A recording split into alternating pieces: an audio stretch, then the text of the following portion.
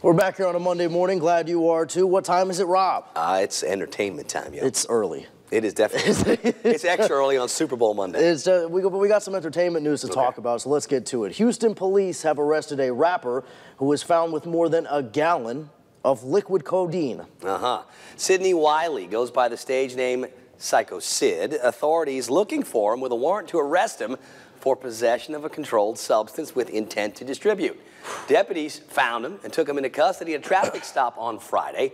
Authorities saying they found the codeine in his vehicle along with a gun and a pound of what they suspected was marijuana. How about this? Sir Elton John was escorted off stage. Look at the rain. Right, look at that, and forced to cancel his show in Coldstream, Australia on Friday. Yikes. They're trying to get this man off. Uh, this, as you can see, after a massive storm pummeled his audience and even performers on stage. You can see stagehands working to keep him and his instruments dry. Do not get Elton John wet. Elton did end up playing Don't feed him after midnight either. to make up for that performance this past Saturday. Looks like something out of a, That's crazy. a movie. Good for him for going out there trying to play in that, though, man. Uh-huh.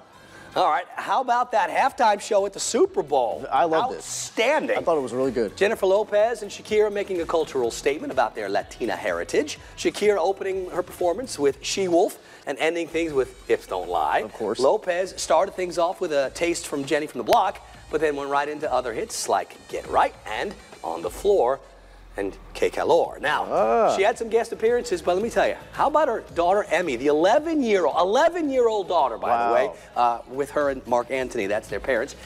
She busted out Let's Get Loud, had Shakira, no less, playing the drums, and the little girl killed it.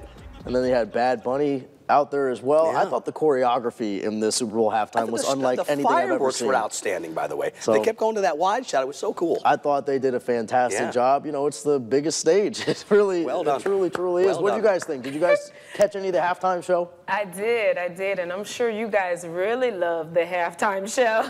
Hey, now. but they, they, but they were great. I thought that was really cute to have Making her 11-year-old um, daughter out there, and yeah, and Shakira. pretty It, it was cute. I saw not one minute of it. but I just want to know who, who's, who is Bad Bunny? Is that what you said?